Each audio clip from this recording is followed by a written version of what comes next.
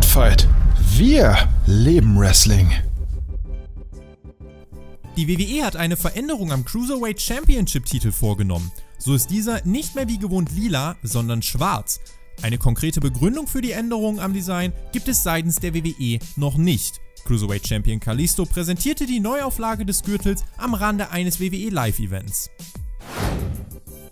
Mit der Mae Young Classic Teilnehmerin Kavita Devi hatte WWE erstmals eine indische Wrestlerin unter Vertrag genommen.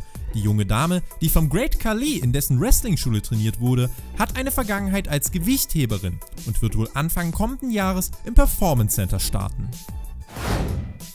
Wie es scheint, hat Bubba Ray Dudley beim Ring of Honor Global Wars Chicago Pay-Per-View seine aktive Wrestling-Karriere beendet.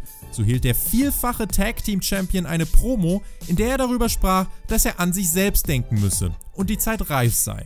Anschließend postete er einen Tweet, der sehr stark nach Abschied klang. Ebenfalls beim Pay-Per-View anwesend war der erst vor wenigen Tagen von WWE entlassene Jimmy Jacobs. Wartet nach Brock Lesnar das nächste Mega-Match auf Jinder Mahal? Auf Twitter wurde der amtierende WWE-Champion gefragt, gegen wen er denn bei WrestleMania 34 antreten wolle, woraufhin Jinder eine Challenge an John Cena aussprach. Mahal selbst sei auch voll davon überzeugt, seinen Titel bis WrestleMania halten zu können.